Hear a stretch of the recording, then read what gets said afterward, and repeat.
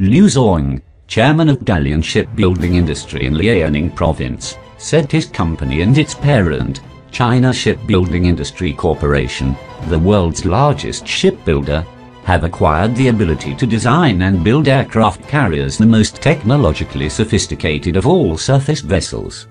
Their capabilities have been gained through construction of the CNS Liaoning, China's first carrier, which was built based on a half-finished, imported Soviet-era vessel, and the nation's first domestically designed carrier, which is in the final outfitting stage before starting sea trials.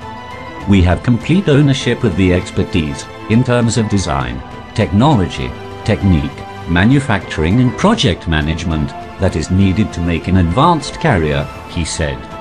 We are ready to build larger ones, Liu spoke to China Daily on Wednesday as he arrived in Beijing to take part in the coming first session of the 13th National People's Congress as a deputy from Liaoning province.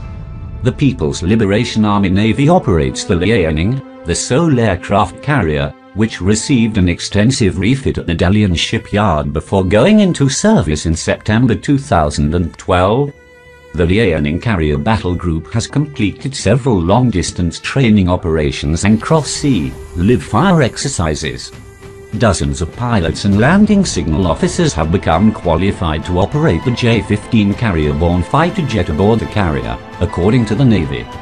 Construction of the nation's second and first indigenously designed carrier began in November 2013.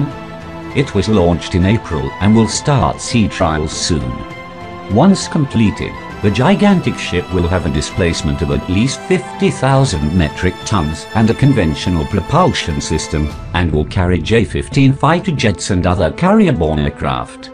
Like the Liaoning, the ship will use a raised, ski jump deck for launching fixed-wing aircraft. The new carrier's name and hull code remain unknown. The Navy usually makes public such information when a ship is commissioned.